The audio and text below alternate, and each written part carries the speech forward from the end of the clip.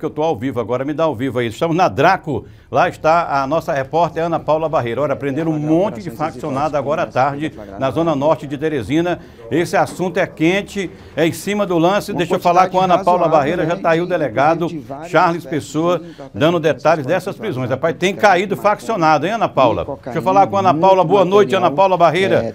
O que está saindo aí de informação da Draco para a gente, Ana Paula? Que era utilizado por esses criminosos para fazer o monitoramento. Oi, Arnaldo, boa noite para você e a todos que assistem o Cidade Alerta. O, delegado Charles Pessoa está agora dando informações sobre essa operação Draco 141, que foi deflagrada agora à tarde, agora há pouco. Três pessoas foram presas e eu vou tentar puxar aqui para ele informações ao vivo aqui para a gente, aqui para o Cidade Alerta. Alguns pertenciam a uma facção, outros pertenciam a outra.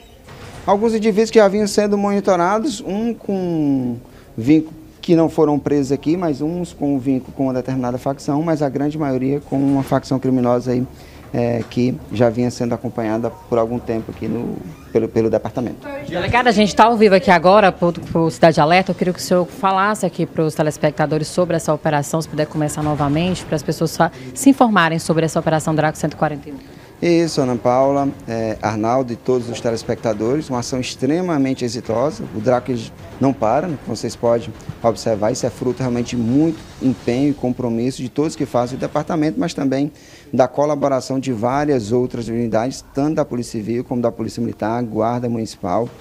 E ontem deflagramos uma importante operação que vocês acompanharam, né? Conseguimos desarticular uma organização criminosa envolvida com roubo de carga e até atualizando os dados, né? Só no galpão nós conseguimos identificar oito, cinco caminhões roubados, né? Uma carga roubada e três veículos pequenos, então oito veículos só naquele galpão. Equipamentos que bloqueavam inclusive sinais de é, aparelhos celulares que essa organização criminosa utilizava para o cometimento desses crimes. E já na tarde de hoje, essa importante operação teve como foco territorial a zona norte da capital, um grupo que já vinha sendo monitorado pelo departamento há algum tempo, representamos por algumas cautelares. Hoje a gente priorizou muito as buscas e apreensões, 12 buscas e apreensões que resultaram, além da apreensão dessa quantidade considerável de materiais ilícitos, né, como drogas, armas, anotações, dinheiro, balanças de precisão, um drone que era utilizado pelo próprio grupo para fazer o monitoramento das forças de segurança pública, nós conseguimos efetuar a prisão de cinco criminosos que estão sendo autuados em flagrante delito é, nesse momento aqui no departamento. É importante a gente ressaltar e contextualizar a participação de outras unidades, tanto da Polícia Civil, Polícia Militar e Guarda Municipal, e dizer que isso é um fruto de um trabalho integrado entre todas as forças de segurança pública com um único objetivo, desarticular essas organizações criminosas, retirar esses faccionários de circulação e contribuir com a paz social aqui do nosso Delegado, estado. quem seriam essas cinco pessoas envolvidas com as facções criminosas e esse material estava na casa de quem? Ana Paula, nós é, conseguimos identificar dois casais, mulheres que contribuíam com os seus companheiros para essas práticas delituosas, né? E além desses dois casais, outra pessoa também foi presa com envolvimento com o tráfico de entorpecente. Todas elas são vinculadas a uma facção criminosa. Atuavam juntos no crime? Com certeza, serão, inclusive serão autuados aqui pelo crime de tráfico de drogas e também pelo crime de associação para o tráfico de entorpecente. Muito obrigada, delegado Charles Pessoa, dando mais informações aqui sobre essa operação número 141, que foi deflagrada agora há pouco. Lembrando que foi deflagrada na região norte de Teresina. Todo esse material aqui, Arnaldo, você de casa, estava com os criminosos que foram presos durante essa operação. Inclusive, eles já estão aqui no Draco, estão sendo ouvidos e já seguem agora à disposição da Justiça. Volto com você, Arnaldo. Qualquer informação aí eu volto a te chamar.